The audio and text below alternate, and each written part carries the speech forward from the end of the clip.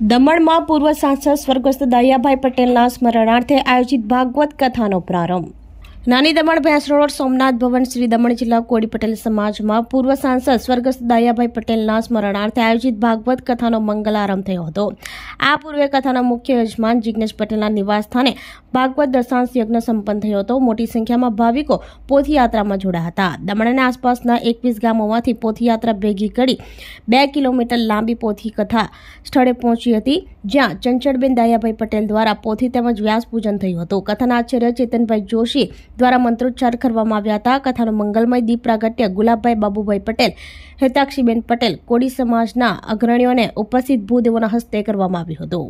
કથાકાર પ્રફુલભાઈ શુક્લે કહ્યું હતું કે ભાગવતની કથાનું અમૃત જીવનને દિવ્ય બનાવે છે, કારણ કે ભાગવત એ સ્વયં ભગવાન કૃષ્ણ છે. સાત દિવસ સુધી ચાલનારી આ કથાનો સમય દરરોજ બપોરે અઢી વાગ્યાથી સાડા પાંચ વાગ્યા સુધીનો રાખવામાં આવ્યો છે. તેમજ કથામાં આવતા દરેક ઉત્સવ ધામધૂમથી ઉજવવામાં આવશે.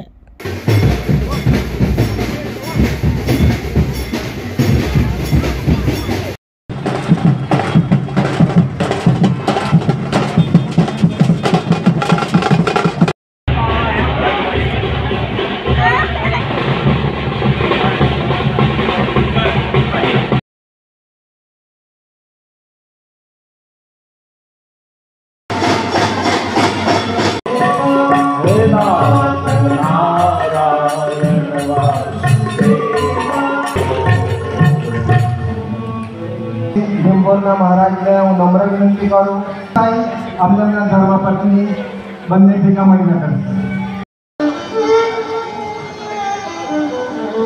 શ્રીમદ ભાગવત સપ્તાહ, દમણ જિલ્લા કોળી પટેલ સમાજના સોમનાથ ભવનમાં પહેલીવાર માનનીય અને પૂજ્ય બાપુ શ્રી પ્રફુલ્લ શુક્લ જે આ કથા કરવા જઈ રહ્યા છે, આ તેમનો આરંભ થયો છે કથાનો. કોળી પટેલ સમાજના મારા પરિવાર તરફથી બાપુનું હૃદયપૂર્વક સ્વાગત કરું છું. આજથી નવ જાન્યુઆરી સુધી આ કથા ચાલશે. છેલ્લા દિવસે અમે મહાપ્રસાદનું આયોજન કર્યું છે. તો સર્વ સમાજના મારા વડીલો, માતાઓ, મારી બહેનો, મારા ભાઈઓ અને યુવા સાથીઓ આ કથાનો આનંદ લઈ એવી આશા રાખું છું. જય શ્રી રામ. આપણી સંકલ્પ ન્યૂઝ ચેનલને સબસ્ક્રાઇબ અને લાઇક કરો. બે લાઇકન દબાવો, જેથી આવનાર ન્યૂઝ અપડેટ્સની નોટિફિકેશન આપના મોબાઈલ પર સૌથી પહેલાં પહોંચે. Like, subscribe and share the video.